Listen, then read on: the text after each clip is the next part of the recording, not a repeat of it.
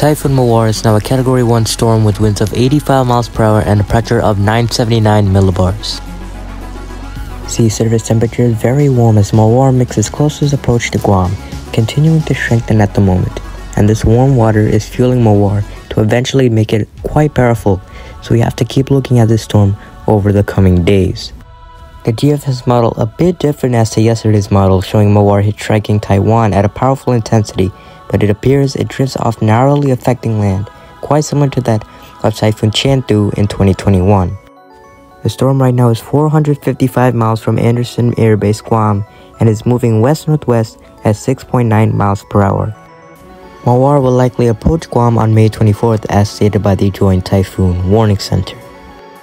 As of right now for the situation in Guam, a typhoon watch is in effect for the island as that could possibly be upgraded to a typhoon warning in the near future. Overall, our team is closely tracking this storm as it inches its way closer to the Asian half of the Western Pacific. So, that's basically it for today.